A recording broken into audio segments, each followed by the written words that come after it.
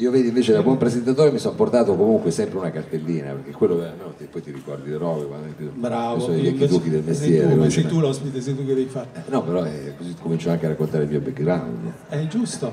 Io racconto solo come ci siamo conosciuti, che- così velocemente, così poi partiamo da lì. Allora, nel- oggi ho mandato un messaggio a un mio caro amico con cui condividevamo uno studio in San Salvario, in via Saluzzo, e gli ho scritto, Cato, ciao, mi ricordi gentilmente, lui è un nostro amico musicista, un pazzo, un psicopatico, è un ricordante, lui ricorda qualsiasi cosa. E gli ho chie- è vero che c'è questa pre- e gli ho scritto mi ricordi quando. Mao è arrivato in studio da noi e da lì in poi sostanzialmente siamo diventati conviventi per qualche anno e lui mi ha scritto, non mi ha scritto l'anno, mi ha scritto il mese, io mi aspettavo anche il giorno e l'ora, però mi ha scritto gennaio 2002. Quindi è vero che c'è il 25ennale del tuo disco, ma c'è C'è anche il il ventennale della nostra vicina, Quando l'ho scritto gennaio 2002, quindi sono vent'anni che ci conosciamo, possiamo anche sparare due cazzate. Questo disco qua tu lo hai registrato quindi cinque anni prima che ci conoscessimo, puoi cominciare a raccontarci qualcosa e poi ascolteremo anche qualcosa. Mi piace questo flash forward che tu mi vai. Allora facciamo un passo avanti. Nel 2002, dopo cinque anni che ho registrato questo disco, dice, che era un disco che aveva delle belle aspettative, perché siamo andati anche a Sanremo con questo disco, c'era tutta una tensione. Comunque adesso ve la faccio molto breve, nel 2002 ero a un certo punto della vita in cui avevo praticamente uno studio, un mezzo, insomma, quindi dei macchinari, delle cose. Avevo, pensavo di riportarle a Torino perché nel frattempo ero andato a abitare sia a Milano che a Roma e pensavo di riportarle insomma a Torino, di fare uno studio, pensavo di andare ai Docs, dopodiché eh, avevo evidentemente con grande capacità affaristica, mi era sembrato di aver capito che mi dessero un posto con le finestre e in realtà mi diedero un posto praticamente sottoterra questi qua di Docs. E quindi io diciamo questa cosa non la potevo sopportare. E ho chiesto, ho chiesto, insomma, aiuto a un amico, ho detto a Cato, senti, io ho la roba, non so proprio dove metterla. E lui mi disse, "Eh, guarda, io ho lo studio, vieni pure a posarla lì, se puoi lasciarla una settimana, due, tre. E insomma, è così, poi ci sono stato praticamente, credo, cinque anni di studio come senso. Eh, un po' di anni, sì, po' di eravamo poi Sì, tutti perché poi insieme. Anche forse sette, perché, no, cinque anni, perché E ti sei nel 2007. costruito il soppalco dove dormivi e, e poi- e quindi abbiamo convissuto. Ma perché tu, eh, tu quando sei arrivato nel 2002 in- studio da noi, tu arrivavi da Milano, abitavi a Milano? Sì, a quel Giusto? punto, vabbè, adesso facendo un flash Così torniamo indietro Dopo, e dopo questo disco, diciamo, eh, eh, Casa, che uscì nel 97, io già all'epoca lavoravo in televisione, avevo cominciato a fare MTV e facevo un programma che si chiamava Kitchen, che era un programma di cucina, diciamo di cucina, sì, dove comunque un ospite, intervistavamo un ospite che veniva lì a insomma, a proporre la sua cucina, un piatto, non è che ci fossero intenzioni da gourmet ancora all'epoca. Sì, me lo ricordo. Più che altro è- ci sembrava una cosa abbastanza divertente perché i programmi da cucina erano proprio tipicamente quelli sfigati da reti diciamo private, programmi con televendite, cose del genere. E quindi pensare di farlo ad MTV ci sembrava un giusto contrasto. E devo dire che la formula funzionò anche perché io diciamo, accompagnavo quello che era il presentatore, che era Andrea Pezzi, che insomma era un personaggio in grandissima auge. eh, insomma.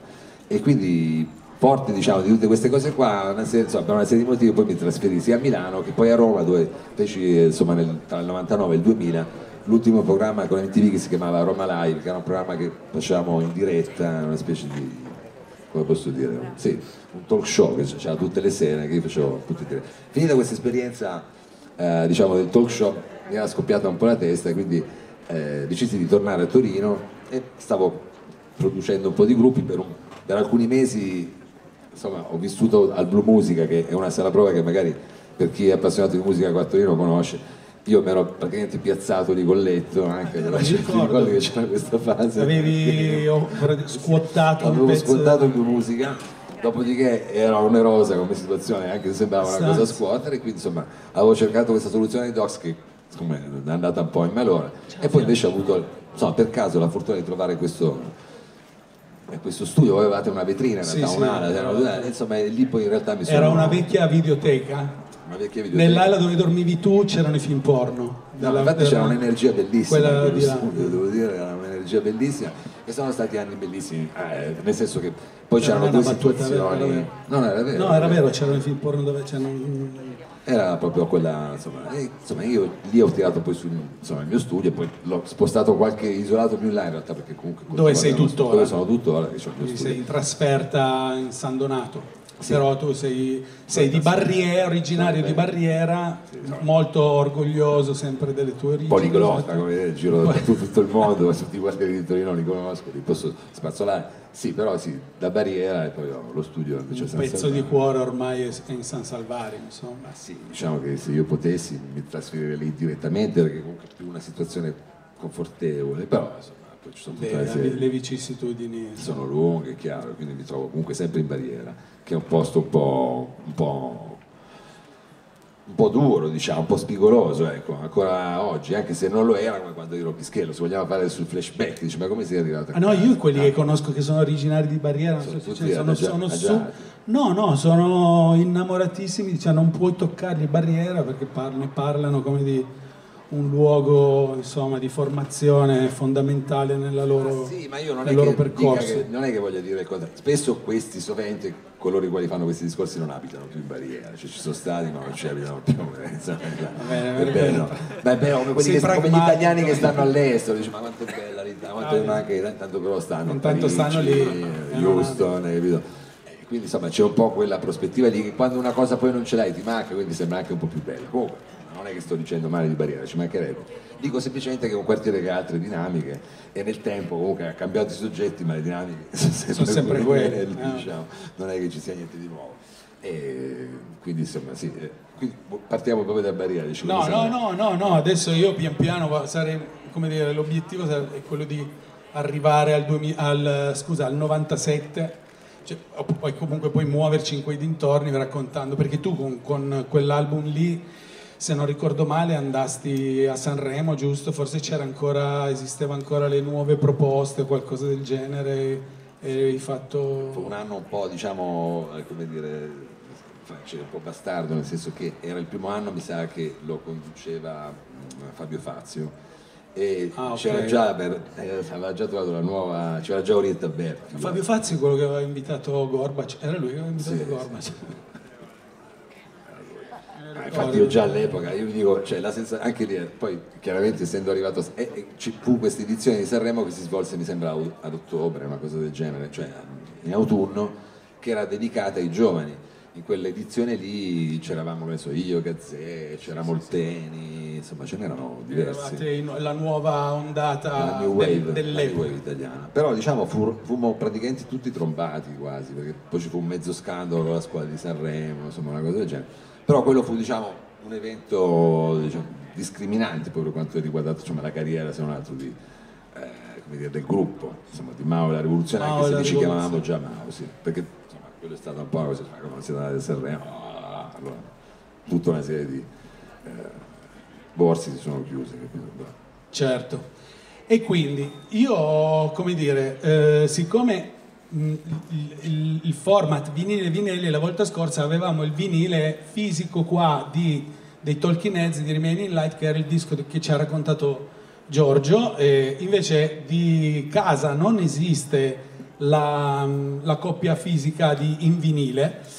E quindi ieri ho chiamato Mao e gli ho detto senti visto che non esiste la copia fisica in vinile non è che ci fai due pezzi dal vivo anche se poi in, realtà è una chiacchierata non esiste ancora lui, diciamo la copia in vinile eh, non, non esiste, esiste potrebbe esistere c'è, c'è, c'è, odore di ristampa adesso ah, magari figo. poi parliamo Vabbè, bene a quel punto rifaremo un'altra no perché ormai si usa per questi dischi vecchi di fare la ristampa certo. e quindi magari ce la faccio anche col mio questa è una cosa da, da quello lo aspettiamo con ansia però nel frattempo nel frattempo, Visto che non abbiamo la coppia fisica, abbiamo direttamente lui live che ci farà, decide lui, non abbiamo deciso nulla, mi immagino che... Allora, mi piace. E allora, con cosa partirei? Diciamo con quella che se riusciamo a far sentire, ma anche se non si, si sente va bene lo stesso, schiacciagli un po', solo basta che schiacci il tasto no, Questa qui era la canzone che, eh, con la quale siamo andati a questo mm, Sanremo Giovani di cui insomma, prima vi raccontavo. E, piccola particolarità, noi diciamo davvero gruppo rock, di solito si va lì, eh, il batterista si mette le cuffie perché c'è un click che ti dice a che tempo andare, così. Noi eravamo molto rock, anche il disco l'abbiamo fatto senza sto click, arriviamo lì a Sanremo e lo facciamo anche lì, chiaramente senza click. E chiaramente, vista la situazione, il batterista si fa prendere dall'emozione e se poi andate a sentirla eventualmente su YouTube, la velocità alla quale facciamo praticamente questo pezzo sembra un pezzo ska, aveva fatto una velocità pazzesca, però il pezzo era questo E mi sembrava comunque una bella maniera di entrare, come dire, nel gote di Sanremo, ma non, non fu preso, ma ve la faccio sentire lo stesso, fa così.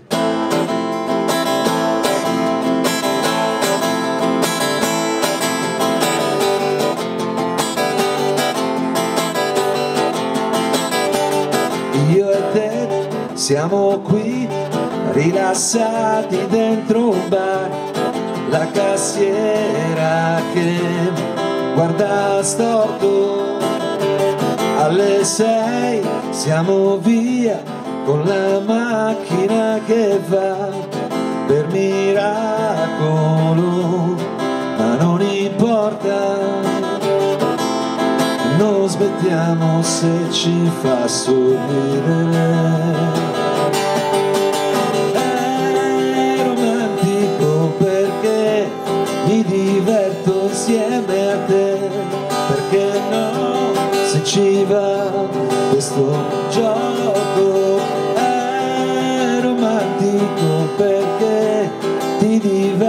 Insieme a me, perché no, se ci va questo gioco.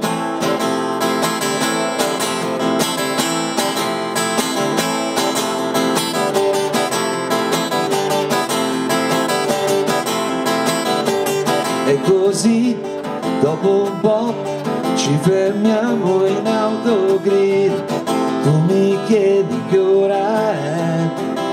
altro giorno non smettiamo se ci fa sorridere. È romantico perché mi diverto insieme a te, perché no, se ci va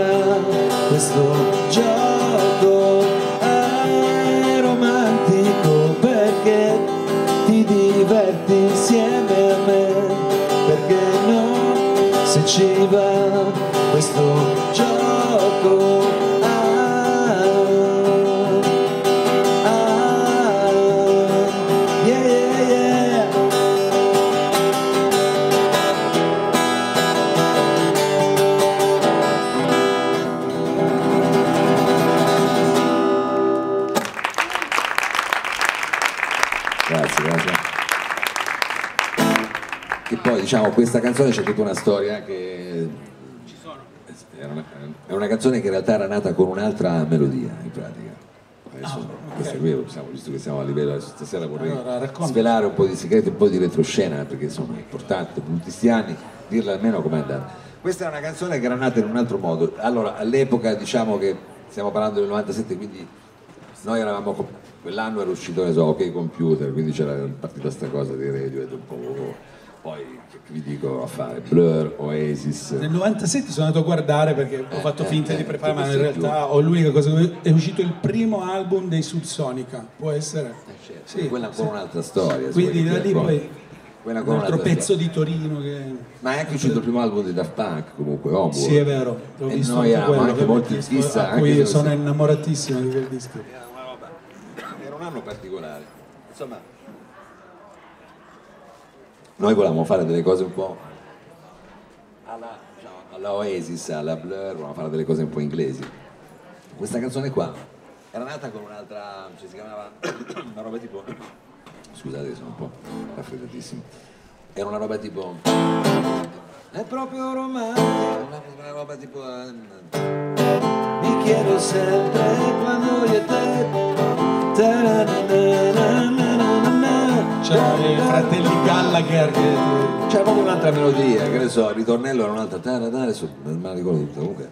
E poi, siccome registravamo sempre queste cose mh, in sala prove, e spesso le facevamo anche magari soltanto le basi, mi ricordo che insomma questo mio amico mi, mi- mi disse, cioè questo mio amico che era Begé, che era uno di quelli che collaborava, anche, anche se non è citato, mi diceva insomma però troviamo una roba più, la base mi piace, ma troviamo una... insomma io praticamente poi sulla base di questa canzone che avevamo registrato ho cominciato a cantare quest'altra melodia ed è diventata questo romantico qua, però in realtà sarebbero due Cioè, canzoni. ri- eh, il tentativo era di mettere un ritornello più all'italiano, Cioè, per farti capire con una realtà- melodia più Eh, aperta. non lo so, diciamo. guarda, era- il discorso era che Però il eravamo- pezzo è ancora oggi molto molto bello. Eravamo molto molto caldi all'epoca, cioè, nel senso che eravamo molto disponibili a cambiare le cose velocemente, tant'è che questa canzone qua l'avevamo praticamente preprodotta, quindi avevamo, eravamo già andati in studio a fare la preproduzione, avevo soltanto la base di questa roba qui e ce la siamo stravolta comunque in corso d'opera.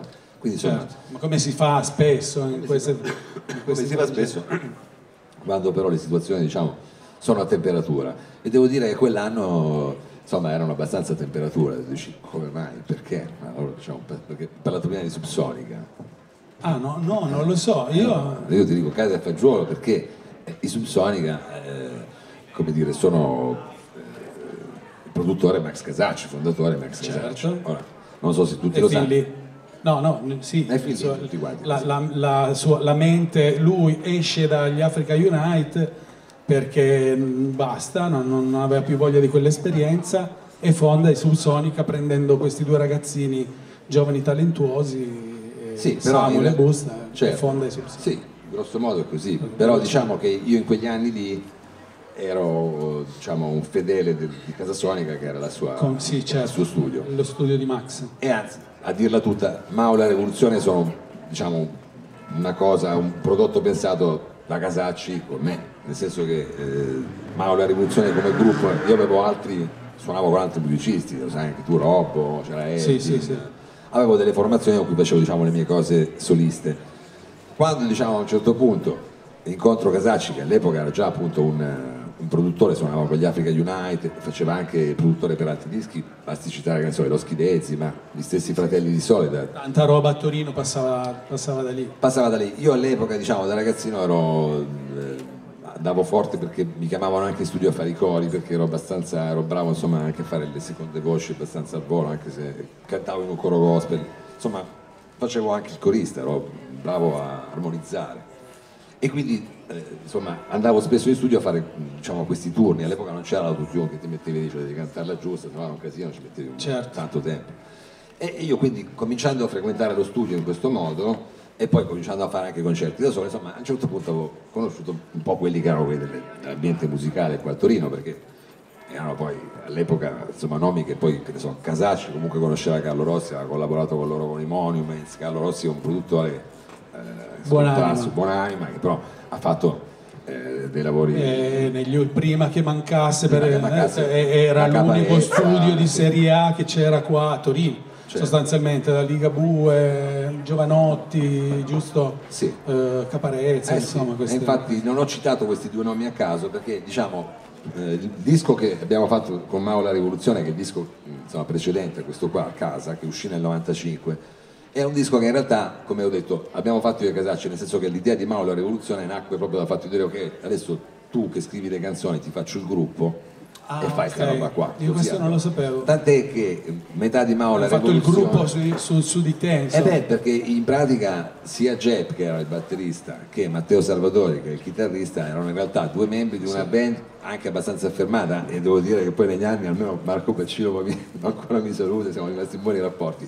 Però praticamente, come dire, gli ho portato via chitarrista e batterista in un Ok, volto ok. solo, cioè così quelli sono venuti a suonare con me. Il bassista era già è l'unico che mi, cioè, mi ha abbonato, che suonava con me, che era il mio vicino di casa, Marco Medina, ma quella roba di lei decideva Casacci, era lui il produttore. Ok. E io, diciamo, ero il songwriter, eh, quella era un po' la storia.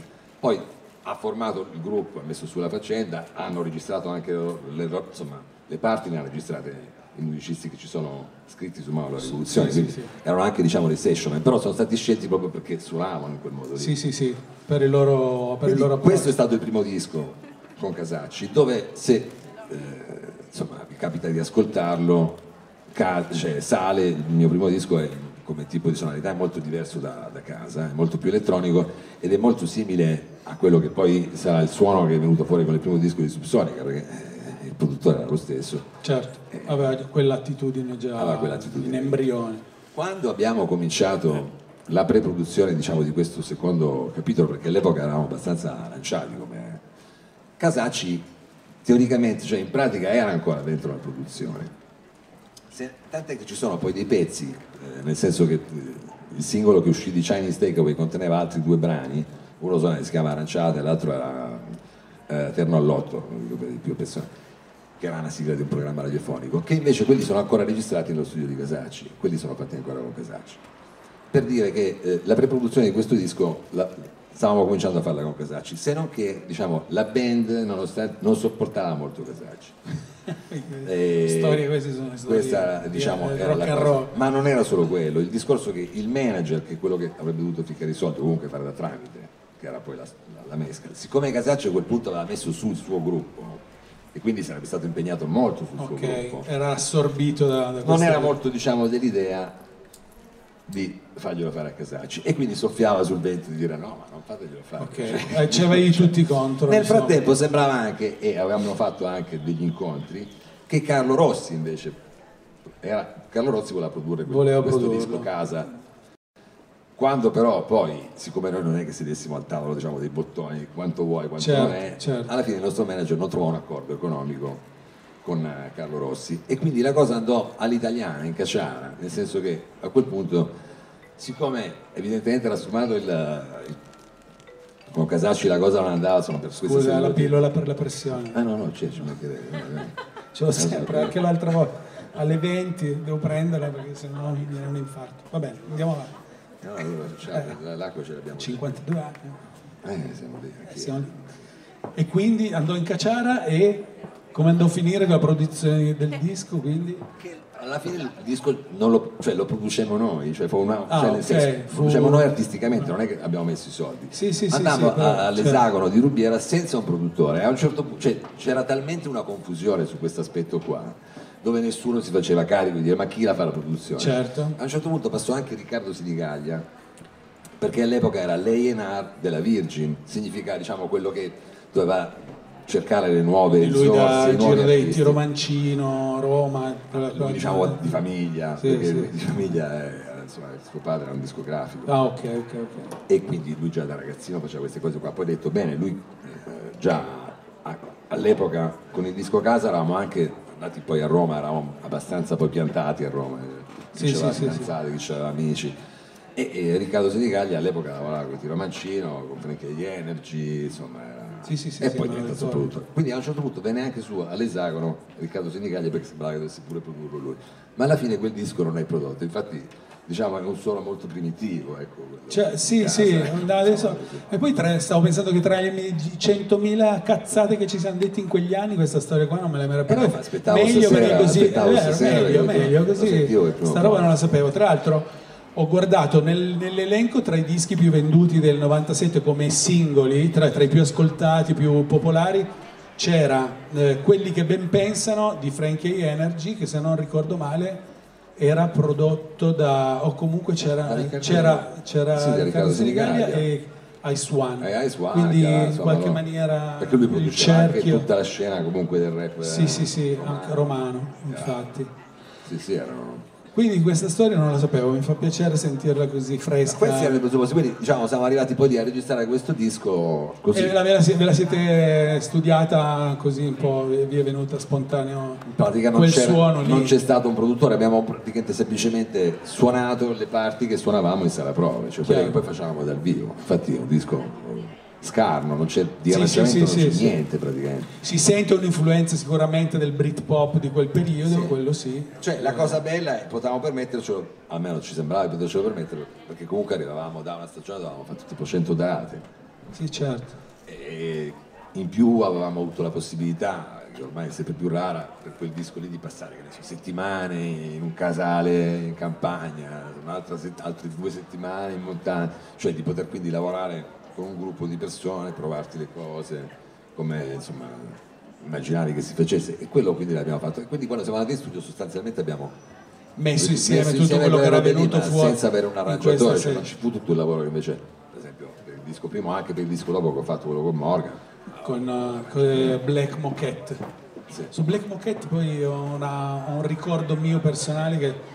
Ma senti, allora, eh, invece ti volevo chiedere, visto che tra- ne- nel sottotitolo del- di tutto quello che doveva essere il contenuto di questo incontro c'era anche un po' il racconto di non, non necessariamente insomma, andare a scavare nella filologia di quegli anni, però un'idea di quello che ti ricordi della Torino di quel periodo lì, eh, di com'era Torino, insomma se hai qualcosa da, da- da- da raccontarci sulla Torino degli anni 90, Se avete anche voi, io anche l'altra volta ho chiesto un po', mi sarebbe piaciuto che qualcuno se avesse voglia di dire qualsiasi cosa, fare qualche domanda, e siamo qua.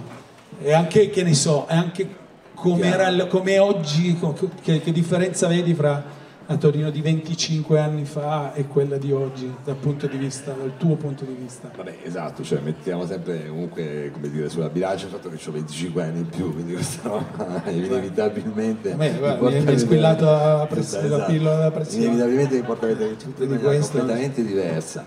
Allora, vabbè, tanto per cominciare, all'epoca eh, credo che in generale comunque la città tutti quanti godessimo comunque di una situazione decisamente più comunque almeno leggiadra. Eh, qui a Torino in più si era creata anche questa situazione fortunata per cui esistevano comunque sia dei luoghi diciamo, di aggregazione, sia ormai una serie di locali e quindi anche di mh, persone che insomma, di musica ne masticavano e soprattutto la facevano anche in giro, per cui era diventato un po' un'oasi cioè un po' tutto quel sì, giro eh. comunque dei murazzi, effettivamente devo dire che era un po' una situazione che, diciamo, nella mia anche ingenuità comunque di quegli anni, quando poi andavi, che ne so, a Roma piuttosto che a Milano, Sembrava che tu arrivassi da no, Berlino. non solo, cioè, poi portavi della gente di, Torino, di, Milano e di Roma. I murazzi, perché ah, si era creato. Si prendevano sta bene perché dicevano, mica, comunque è super easy anche sì, qua, sì, cioè, più con tutte queste figate. Poi comunque era una roba assurda, la, cioè, le ore notturne che comunque forse sicuramente adesso ancora lo fanno però io mi ricordo che cioè, era una roba stuccia lì ci andava so, dalle due in poi cioè delle cose assurde. Cioè, certo. tu davi da Giancarlo cioè noi finivamo di registrare cioè andavamo a cena finivi alle 10 e mezza anzi forse forse per i ricordi che ho io le due da Giancarlo due era, che arrivi presto, arrivavi arrivi. e trovavi ancora proprio i primissimi cioè capito noi finivamo di registrare andavamo ancora a provare le cose sì, ma alle sì. due due e mezza ti facevi ancora confluiva tutto il mondo che arrivava da, da ovunque confluiva lì dentro e poi roba partiva sì. l'astronave sì col fatto che poi comunque restava una città comunque diciamo molto a misura d'uomo quindi era tutto poi più facile anche insomma incontri creare delle situazioni quindi all'epoca tutto sommato mi sembrava un luogo abbastanza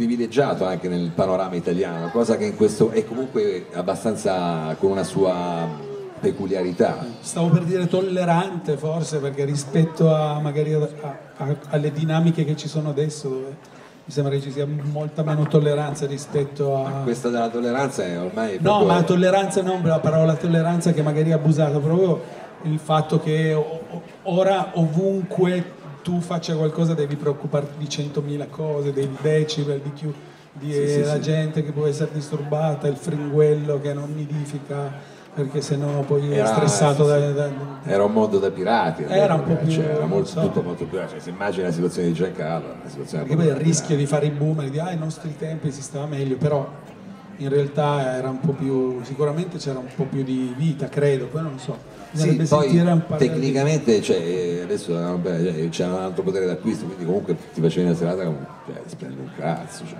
certo. non era una roba che influi cioè, ogni settimana. E poi c'era comunque almeno la cosa che ricordo che c'era un, cir- un circuito comunque di, di, locali che ti permettevano di fare spettacoli, concerti, per cui io veramente già a 19-20 anni guadagnavo dei soldi. Cioè, certo, sì, cioè, sì era un problema dire ma perché hai studiato, stai già lavorando. Cioè, è vero, è vero. Era un po' questo qua il viaggio, quindi credo che da questo punto di vista le cose siano mo- molto molto diverse. Poi credo che la cosa, diciamo, se vogliamo rimanere soltanto sull'aspetto come dire, più discografico, cioè proprio soltanto più musicale, eh, all'epoca diciamo una volta pubblicare, cioè adesso pubblicare è un aspetto cioè, marginale, cioè puoi pubblicare, invece all'epoca pubblicare era un po' come dire, cioè potevi registrarti il tuo demo tape, potevi farti la tua cosa, però poi andare a pubblicare fisicamente era una roba un po' d'arrivo, sì, un po' sì, punto d'arrivo. E quindi questo implicava una serie almeno però di passaggi un po' più chiari, capito? C'era un po' più di, da questo punto di vista, come ti posso dire, necessariamente professionalità, cioè ti potevi improvvisare di meno. Ecco. Sì, sì, sì, Oggi certo. è un po' più improvvisata, forse da questo punto di vista. Eh sì ma, no? sì, sì, sì, ma quello perché la, la digitalizzazione come dire, ha, ha, democratizzato forse un po' troppo tutto il processo anche creativo, per cui è tutto più, più Sì, cioè, adesso è... caotico, c'è anche più tanta, tanta più roba difficile da decifrare e mentre invece una volta l'etichetta doveva tirare fuori i soldi per investire e quei soldi lì doveva capire che doveva metterli in mano a qualcuno che sapeva che cosa fare, insomma. Adesso sono dinamiche completamente, completamente sai, diverse. comunque c'era bene o male il discorso che adesso è tutto quanto molto riferito alla quantità di view che fai, alla quantità, cioè è Sì, certo. completamente estrapolato da quello che è il contenuto, cioè non so come dirti, non, non sembra ormai tutta una roba finta, basta che ci sono tanti numeri sotto. Sì, sì, sì. E alla lunga sta roba secondo me va a minare un po' tutto il meccanismo, infatti mi sembra un po' in cortocircuito la situazione in generale oggi, cioè non solo certo. dal punto di vista musicale. funziona più, adesso funziona più il personaggio di per sé, non so, fammi dire Elodie perché per tutto, per tutto un insieme di cose, perché fa l'attrice, perché fa i videoclip fighi, perché fa le, le- le dirette su Instagram, cioè per tutta una serie di cose più che per il fatto che faccia la cantante, il fatto che faccia delle canzoni, lei come chiunque è uno dei vari aspetti. Cioè non viene il personaggio viene considerato per tutta una serie di, quello in realtà nel music, eh, come dire, nello showbiz, come si dice, è un aspetto, cioè, c'è sempre stato, certo, però que- quella è la storia. Sì, sì, sì, Eh. Quando parli di showbiz. Chiaro che poi ci sono stati magari dei momenti in cui col fatto che ci fosse la discografia e che quindi poi anche il gusto e la- delle persone, del pubblico fosse cresciuto, ci fossero creati dei certi insomma, contesti, permetteva diciamo a questo showbiz di essere un po' più come fosse un circuito jazz, un circuito cioè, di appassionati di un certo genere che faceva quella roba lì e quindi a dinamiche che sono prettamente legate al mondo dello spettacolo erano magari meno considerate, meno importanti, no? certo.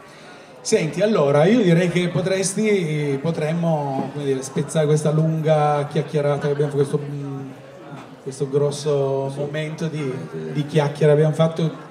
Facci sentire un altro, un altro pezzo, una canzoncina, una canzungella. come- Cioè questa è stata la prima canzone che ho sentito proprio in radio, una mattina mi sveglio, accendo la DJ tipo, e sento questo pezzo ma in radio è stata veramente un... quelli sono quei flash che ti ricordi tutta la vita, è strano, eh, lo so che sembra un po' una sciocchezza però fa, fa effetto. E la canzone era questa qua, più o meno, adesso ve la accenno giusto così.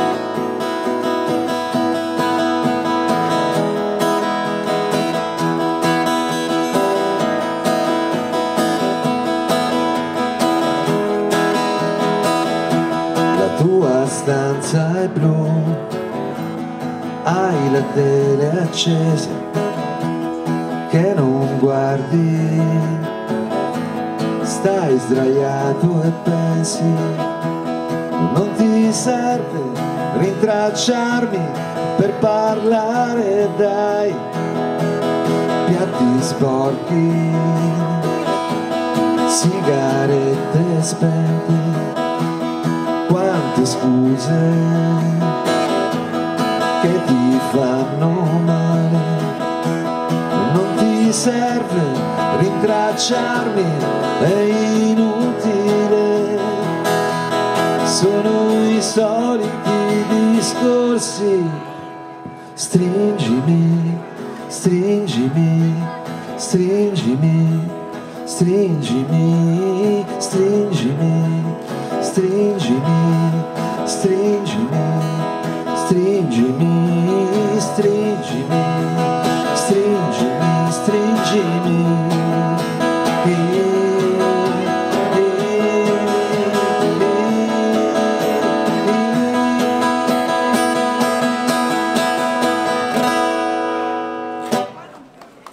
Cioè, diciamo, very unplugged, stringimi.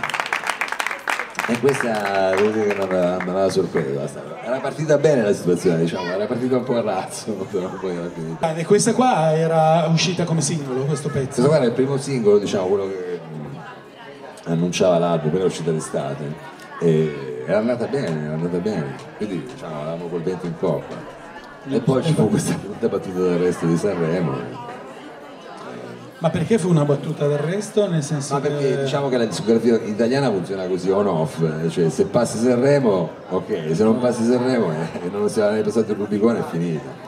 Oh, il, dado, il dado non è, o è tratto o non è Esatto, tratto. Cioè molto basic da quel punto di vista. Certo. Cioè, ti dico che c'erano dei discografici che il giorno prima ci salutavano fossimo frate, il giorno dopo manco ci salutavano. non li cagavano neanche. Sì, Ma sì. come... Sì, Crudeli. effettivamente ne- diciamo che mi vengono in mente un- così, velocemente, in base a quello che hai detto, un, un- un ricordo, cioè un, un, um, un brano che, che- che dà ragione a quello che dici nel senso positivo, uno nel senso negativo, uno era è stata l'esperienza di, ma perché l'ho visto l'altro giorno che per altri motivi, insomma la faccio breve, i sottotono hanno fatto la stessa cosa, sono andati a Sanremo, arrivavano da anni di grandissimi successi, sono andati a Sanremo, hanno dato male Sanremo, spariti, spariti nel nulla dopo anni che riempivano le no, platee. non so, E invece i Subsonic eh, il contrario, andarono a Sanremo, timbro, via, partiti. Quando arrivi diciamo, a quei livelli, diciamo, per capire le logiche devi pensare al Marchese del Grillo, se no non ce la fai. se no non ce la fai. Però invece se la vedi con l'occhio del Marchese del Grillo, Marchese del allora- Grillo, eh, io sono io, quella Eh sì, roba lì. è così. Quando arrivi lì, ecco, ma eh, qualunque livello, quando poi arrivi proprio al nocciolo duro lo vedi che è così. Però lì è ancora più plateale, sai, nello show. Quindi E invece com'è che sei arrivato a, a MTV? Com'è, com'è andata la- l'aggancio con tutto quel, poi quel periodo televisivo? Allora, in effetti questa è una cosa che mi sono chiesto sempre anch'io, perché a un certo punto cioè, un mistero. ero ancora, diciamo, No, ero praticamente io già- ricordo cioè, No, no, ma infatti, ma- però ci stavi dentro eh. No, ma ero venuto a registrare anch'io una puntata mi ricordo con, con la band, Con la band. di Super una volta che non era potuto venire Ale ero venuto io Ah, poi, quanta gente ho portato? Gino e Michele che- perché la roba bella di Kitchen era che non c'era lo chef stellato che cucinava ma c'erano degli ospiti famosi presi un po' anche dall'underground non soltanto dei VIP per cui c'era che ne so era venuto qual- qualche calciatore piuttosto che cantanti chiunque era, era anche figo venire per loro cioè, Sì, eh, diciamo lì si, si creava i nuovi VIP, si chiamavano un po' e certificati. quindi come ti sei ritrovato lì dentro questa- questo meccanismo? Ma eh, guarda, eh, succede che praticamente, siccome quando col primo disco con eh, Sale, eh, che fu un disco comunque che venne pubblicato dalla Virgin, e ci fu un- dire, un, eh, uno sforzo promozionale, all'epoca facevano la promozione in maniera un po', quindi facevi che ne so, il tour radio, andavi una settimana in giro con sto discografico per tutta Italia, nelle varie radio, a fare le interviste. E tra le varie cose che dovevamo fare promozionali, a un certo punto, all'epoca, cominciavano a fare programmi di MTV e li mandavano anche in chiaro in Italia, per cui c'era Silvestrin, io infatti li guardavo e pensavo però eh, sarebbe figo fare MTV, solo che eh, Beh, ma non parlo inglese, poi figurati. E mi- quindi mi ricordo di sta roba. Se no che punto, tra i vari programmi che facevano, ce n'era anche uno che faceva Andrea Pezzi che si chiamava Hot, che era un programma, non so se qualcuno se lo ricorda, era molto semplice, c'era praticamente una camera fissa, però tipo fisheye, quindi che faceva un po' la cosa deformata, e lo sfondo era tutto bianco. E lui giocava un po' come Funari, si avvicinava e si allontanava da sta camera e con gli ospiti giocavamo con sta, insomma, con sta, si chiama col sfondo infinito praticamente, perché sto bianco potevi andare. Ed era nella sua semplicità comunque un programma, e lui faceva già tutte queste facce alla Jim Carrey, era già il personaggio perché faceva già la DJ. Noi dovevamo andare lì a fare una comparsata come nuova band, come ospiti a Hot e lo registravano negli studi di Londra a Camden Town. Quindi per noi era già una figata, figurati, aereo pagato, albergo che ti prendono, cioè eravamo proprio non in gita scolastica, Di più, sì, sì, sì, sì. molto di più. Poi con la band, manco solista, come- cioè non è, sembrava manco un lavoro, era proprio una gita, quindi con la band. Allora arriviamo in questi studi, tu immaginati poi come per arrivare, cioè proprio una- per un appassionato di cioccolato che era Willy Wonka, cioè proprio... la fabbrica del cioccolato conosciamo, insomma, eh, cominciamo a conoscere gli autori e tutto quanto, becchiamo anche Andrea Pezzi e sentiamo che nel frattempo sta discutendo con un inglese, se non che questa discussione diventa sempre più animata, insomma a un certo punto si stanno quasi mettendo le mani addosso, quindi c'è questo diverbio per cui eh, salta la registrazione quel giorno lì, perché insomma Andrea Pezzi si incazza con questi inglesi, si menano. E, e quindi diciamo la cosa lì per lì a noi è sembrata anche Eh, eh, diciamo, più che un problema è stato un vantaggio perché Ok. l'unico problema è stato che la casa discografica ci ha preso un'altra notte in albergo, un'altra altre cene pagate, cioè diciamo mica che figata. Pro- proseguire la gita, insomma, andava Questo per avanti. dire cosa, che a quel punto però in questa cena che in più facevamo, siccome Andrea Pezzi si era sentito un po' una merda che ci aveva fatto cancellare la roba, era venuto a cena con noi quella sera e quindi ci siamo conosciuti così a cena e eh, insomma ci siamo trovati subito, Subito abbastanza bene. E lui insomma mi disse guarda io poi a settembre dovrei fare una roba in Italia che è un programma talk show. Insomma, e, come- e mi invitò a sto programma dove c'era anche il non giovane Che era se- eh, dove c'era anche. Morgan poi Sì, sì, sì, che era ehm, sempre su MTV. era sì, sì. la prima- le prime produzioni che faceva MTV da MTV Italia Ah, ok, ok. e quindi erano le prime registrazioni che si facevano qui in Italia siccome Andrea Pezzi praticamente io adesso non so per chi interessasse diciamo di inner side di MTV però Andrea Pezzi come dire era l'uomo scelto da MTV Central per aprire MTV Italia Certo, per, per dare la- lo slancio sì, prima. era lui diciamo il- poi Campo dall'Orto e qua però era lui Sì, sì, sì, sì. E quindi quando cominciarono queste robe qua, io cominciai a fare questo programma e poi subito dopo gli venne in mente l'idea di fare questa roba di kitchen e quindi io nel giro di non so come, cioè praticamente con niente, mi ritrovai a fare una stagione, cioè ho fatto quel 4 Che poi è un programma che abbia successo, insomma, ti- Sì, quello di kitchen fu un programma, devo dire, forse una delle cose più di successo che ho fatto nella vita. sì, sì, sì, a livello pop sicuramente. Ah, ma era una roba Di incredibile, cioè, io ero- giravo per strada, ti fermavano, ti dicevano. Poi poi andava anche in replica, un programma che andò molto bene. Poi Andrea Pezzi all'epoca era cioè, una star totale. Sì, sì, sì, è vero, è vero. Cioè, adesso sembrano, sembrano pazzi, però veramente hanno fatto delle storie, so, Dolce Gabbana, erano tutti così, oppure Moses Pendleton, quello dei Momix, erano delle robe assurde. Sì, sì, sì, sì.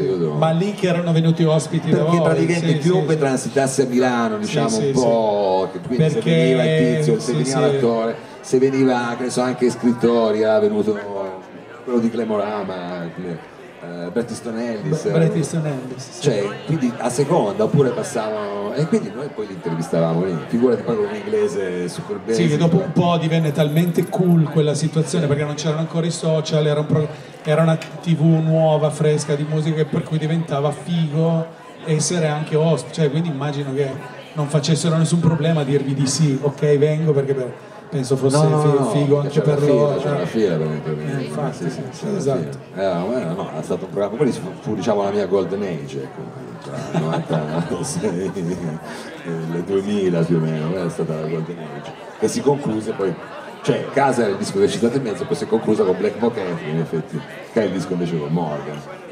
Ah, il disco con Morrissey, sì, io ri- no, allora di quel disco lì ricordo che un- tu stavi preparando quel disco e, e già cominciavi a frequentare ripassato in studio un po' Sì, di volte sì. con Cato perché Cato faceva la e- era Eh, uno beh, de- suonava- era nella band perché di, io poi a di Kitchen portavo tutti i musicisti di e, Torino. a- e io stavo noi ci eravamo appena conosciuti così io stavo ascoltando uno dei miei dischi di funky soul delle, delle robe mie dei neri americani così e, e- e c'era un pezzo di stavo ascoltando un pezzo di Roy Ayers che è un vibrafonista americano e tu sentisti quel pezzo lì e hai detto ma scusa ma ti, ti dispiacerebbe ti dispiace se posso è vero, è vero, E poi- di prima di e addormentarmi. poi dopo vi- ti faccio, ti faccio sentire L'originale. l'originale e il...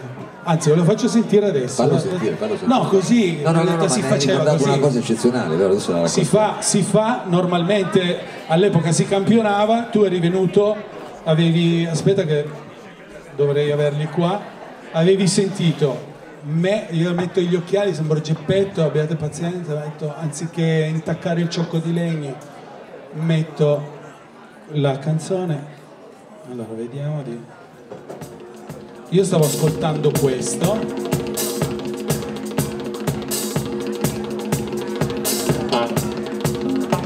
Ok,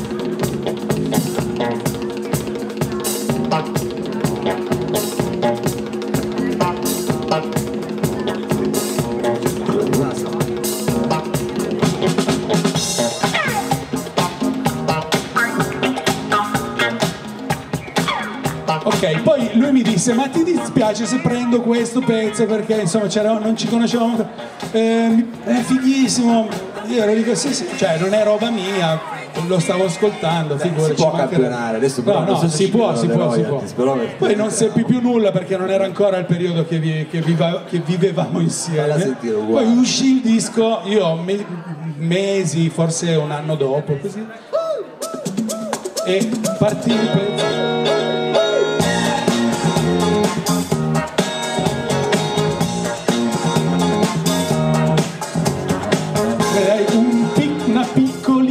Piccolissima paternità, piccola piccola di, di sto pezzo me la, me la prendo pure. qualcosa da fare, me ne accorgo quando non faccio nulla. Certo, cioè adesso mi ricordo. Comunque è fighissimo, eh, comunque- adesso lo fanno tutti sta roba. No, no, di- ma adesso mi ricordo perché in effetti cioè, quella roba lì, con quel campione ho scritto il pezzo.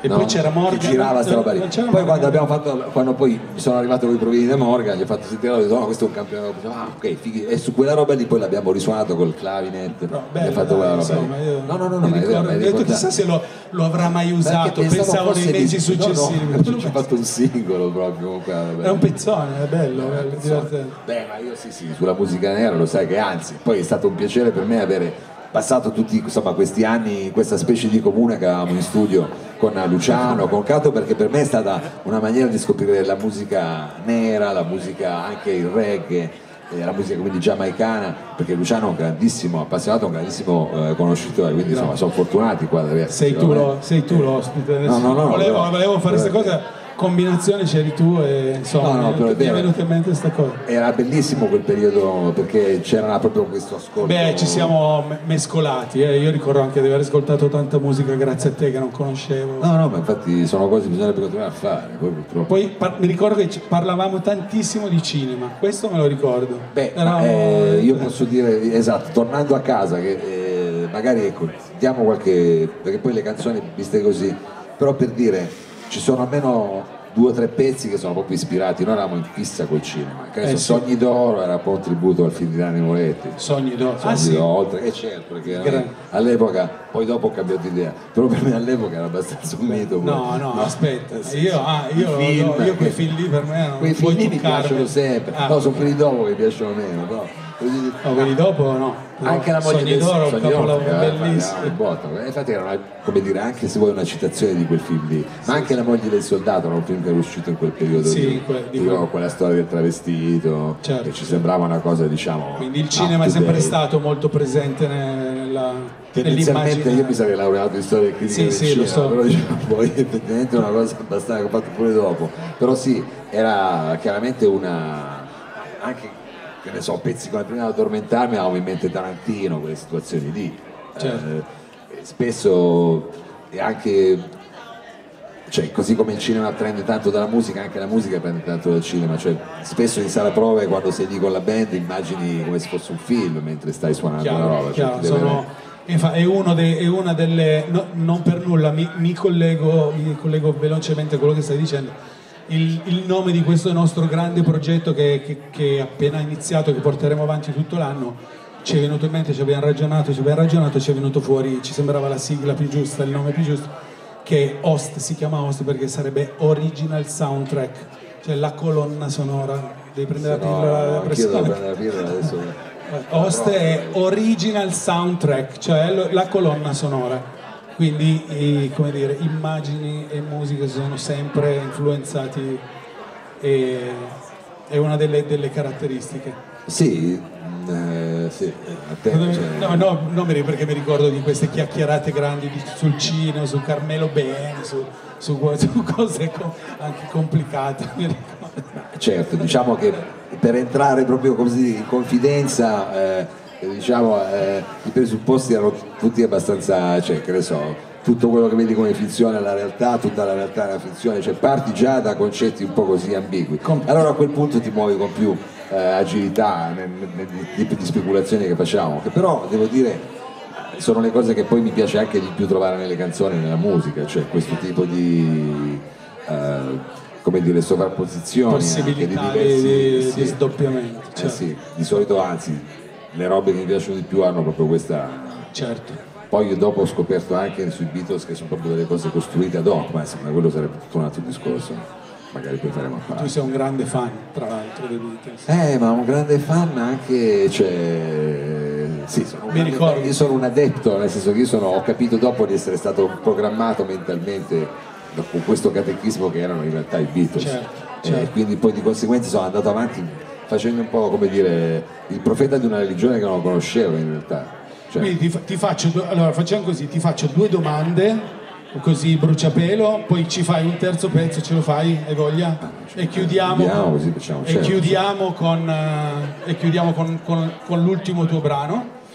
E le domande sono, se, tu- se non avessimo scelto di, fare il- di celebrare il 25ennale del tuo, del, tuo, del tuo disco e avessi dovuto portare un disco che ti ha, che ti ha cambiato la vita nella tua adolescenza, mm, in un momento particolare della tua vita, fondamentale, non tuo, che cosa avresti, magari la prossima volta che vieni e devi portare un disco non tuo, ti ospiteremo, che cosa, di, chi porteresti? Visto che abbiamo citato una fonte tua di, di grande ispirazione. Ma io guarda, io porterei, cioè, mi rendo conto che ci sono diverse cose, come dire, come capisaldi, però se dovessi portare un disco, anche se non è italiano, eh, però lo porterei Lenny Kravitz, eh, My Mama Said, insomma quello, Che disco, bellissimo. perché praticamente... Non lo sapevo. Eh, No, ma non mi aspettavo questa risposta. ti dico anche perché... Bellissimo quel disco. Ah, ma che un disco bellissimo, ma poi secondo me Lenny Kravitz, questa cosa, insomma, eh, l'ho condivisa anche con Morgan, diciamo, quindi è certificata. Cioè Lenny Kravitz è stato il primo, almeno che io ricordi, ad aver proprio preso l'idea del vintage nella musica. Cioè l'idea di fare una cosa negli anni 90 che suonasse però praticamente come fosse il 71. Era massimo. 70, sì, Sì. primi 70. primi 70, adesso non so, eh, tutti, correggimi se sbaglio, però era una roba, quindi anche a livello di registrazione, che ne so, c'erano delle cose in dual mono, cioè mh, che, che so, chitarre che suonavano solo sulla cassa sinistra, Sì, con sì, la- sì, c'erano delle situazioni... di quel periodo lì. Io l'ho visto anche dal vivo, l'avevo visto proprio in quella tournée lì a Rolling Stone ed era una cosa che mi ha flashato. Che figata. È, è sempre stato per me un riferimento a livello musicale, perché è stato secondo me il primo a, a viversi questa fase, come possiamo chiamarla, postmoderna, dove ti volevi rifare a qualcosa che era già stato fatto, mentre comunque questa tecnologia proseguiva. Non so Sì, sì. dirti. Che, Oh. poi la che poi in quel periodo lì la tecnologia proseguiva, ma di fatto campionava comunque le cose vecchie, quindi in un modo o nell'altro Sì. le reference son- son- vengono sempre fuori, insomma, però ti ispiri sì. poi chiaro beh, i miei riferimenti come hai detto prima sono sicuramente Beatles ma io so, Celentano per quanto riguarda la musica Ah, italiana certo, cioè, certo, quindi- so che tu ami molto Celentano, sì, sì. ma sì perché cioè, è stato proprio anche lì un, Ma tu non è che ci, farei, ci, ci faresti un pezzo? Un pezzo di Celentano Ce la fai? Tipo storia d'amore la sai fare? Ah, adesso non me la ricordo tutta magari Poi, se non mi so fai se storia d'amore ti, ti batti, non ba- se hai voglia. ma se volete che fa la storia d'amore se io la storia d'amore la posso anche fare Dai un pezzo, Adesso magari- scusate, è una roba mia. A me piace quel pezzo, io non lo, non lo amo particolarmente, ma quel pezzo sì, tantissimo. ah, sì eh? ti piace? Mi piace un casino, io adoro quel pezzo. Allora, attenzione, questo qua è un pezzo po' così, un po' più ritmico fa.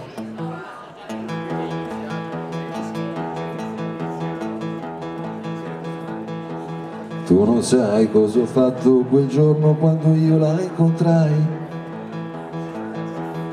In spiaggia ho fatto il pagliaccio per mettermi in mostra agli occhi di lei che scherzava con tutti i ragazzi al di fuori di me. Perché, perché, perché, perché io le piacevo. Lei mi amava, mi odiava, mi amava, mi odiava, era contro di me. Io non ero ancora il suo ragazzo, già soffriva per me. E per farmi ingelosire quella notte lungo il mare è venuta con te. Ora tu vieni a chiedere a me, tua moglie dov'è? Dovevi immaginarlo che un giorno o l'altro sarebbe andata via da te. L'hai sposata sapendo che lei, sapendo che lei moriva per me. Con i tuoi soldi hai comprato il suo corpo, non certo il suo cuore. Lei mi amava, mi odiava, mi amava, mi odiava, era contro di me. Se non ero stato il suo ragazzo, era colpa di lei. No, no, fare quella legge. È uno schiaffo all'improvviso, No, è quella- vorrai se solo per. Ah no, ma aspetta, eh, è così poi. Un giorno... Perché è uno psicodramma, Eh sì, lunghissimo. perché poi mi dice, se- è va- vero, va bene sì, anche questa così, è la terza parte è quella più piccante però. Ah, perché è quando un giorno io vidi lei entrare nella mia entra nella mia stanza, mi guardava silenziosa, aspettava un sì da me. Io mi alzai e tutta la guardai, sembrava un angelo, mi stringeva sul suo corpo, mi donava la sua bocca, mi diceva sono tua, ma di pietra io restai. Parte poi tutta una fisarmonia. avanti così, avanti così. Di fisarmonica Grazie, ma ti voglio bene, Grazie a te. grazie, è stato veramente carino. Ma tu lo sai che mi sono laureato su Celentano. Ma io lo so, per quello che te l'ho chiesto, Io se no non avrei mai livelli mai visti. Non mi sarei mai permesso. Io mi sono anche imbarcato in un'operazione che doveva portarci in Russia a suonare le canzoni di Celentano e poi come al solito vanno sta con enti di più vertigo, ma questa è un'altra storia. eh. Ci Comunque, facciamo una puntata a ci facciamo una parte. puntata a parte, sì, sì. Ho conosciuto gente incredibile. Grazie Mao, grazie mille. Allora, no, oh, allora, ti faccio l'ultima domanda, poi se ci vuoi fare ancora un pezzo tuo ce lo fai, se no se hai, sei senza voce e mi hai detto che non stavi bene, lui non l'ha detto, ma ve lo dico. Sì. Però allora facciamo così, dimmi qual è il cantante tuo preferito oggi che non sia un cantante della nostra età. O, o- comunque il tuo artista preferito come tra i, cantante, tra i allora, come massimo can- trentenne. Come cantante, nel senso di come. No, come cantante. No, no, vabbè, fammelo dire, fammelo dire, come cantante diciamo proprio come tecnica, come timbro, come capacità di cantare, No, come piacere anche di averci cantato una volta insieme di Patrick. Benifei, Ma veramente? io divento pazzo quando canto con lui Eh, perché secondo me lui è un grandissimo, proprio qua. Ho avuto il piacere di fare delle volte, insomma, delle cose con lui, abbiamo fatto anche delle cose di Mina. Ma tra questi giovani che diciamo che, No, però, diciamo, che stanno spopolando, no, Patrick è bravissimo, io lo so, lo so perfettamente. Diciamo, eh, uscendo diciamo, dalla cosa un po' tecnica del cantante, gli artisti nuovi, quelli che anche qua di Torino che trovo che siano di, cioè, veramente che hanno fatto delle cose strepitose, a me insomma, Andrea Lasbo di Simone la trovo che sia veramente una roba Certo. Molto bravo. cioè, di altissimo livello. E E anzi, mi fa piacere dicono forse che anche del- di- abita in questo quartiere, tra- è un sandonatese, Ah, per cui eh, allora vedi che Vedi, poi, per quello sono partiti gli applausi, azzeccato, no, la- il anche perché si campanilismo. merita, è uscito da pochissimo, ho visto anche tra l'altro dove il video l'ha fatto anche Enrico Bisi che saluto eh, Ah, sì, che sì, lavorava con noi a corto corto e Enrico, devo dire anche un sì, ma è qua, no, non c'è non Enrico, credo che non è sia qua però no. insomma magari, poi, magari abita più Ah, da qua Enrico ha fatto il- la regia di... ho visto che ha fatto con eh, Non adesso- adesso Ah non no, no, è vero, invece no, l'avevo visto. quest'ultimo Sì, singolo, sì, sì, sì. tutta una roba a quattrino devo dire veramente bella quindi complimenti anzi questo ci fa ben sperare perché sono insomma veramente Speriamo bene. Allora, io mm, direi che sei stato gentilissimo, ti ringrazio per questa chiacchierata, mi, mi ha ri- riportato indietro di un po' di anni, di quando, No, no, di quando convivevamo. E è stata veramente un- un'oretta passata tra amici, ti ringrazio molto. Grazie, grazie Ringrazio della molto voi per la vostra attenzione e io farei un ultimo grande applauso a Mao per la sua disponibilità.